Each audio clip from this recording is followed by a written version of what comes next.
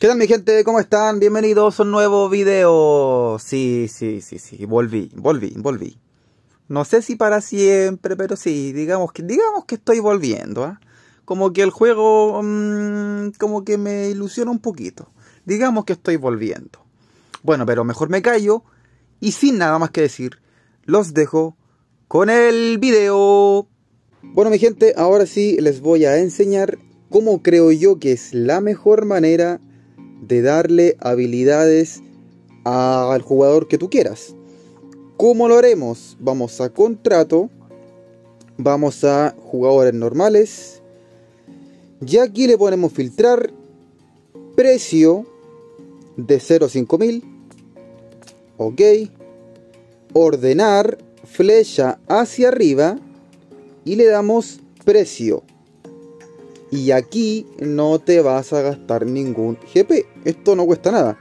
Y lo puedes fichar cuantas veces tú quieras. Entonces te fichas este. Lo vamos a fichar.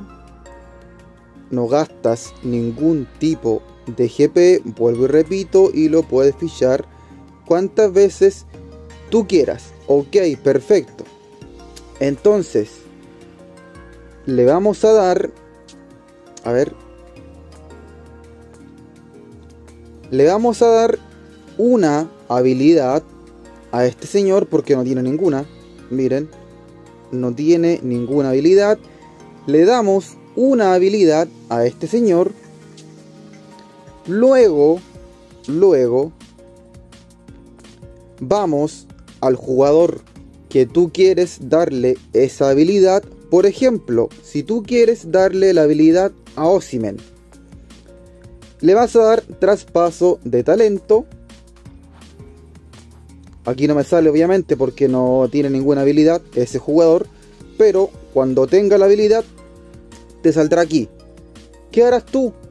Le vas a dar a ese jugador y se va a traspasar esa habilidad a Osimen o al jugador que tú quieras traspasarle esa habilidad.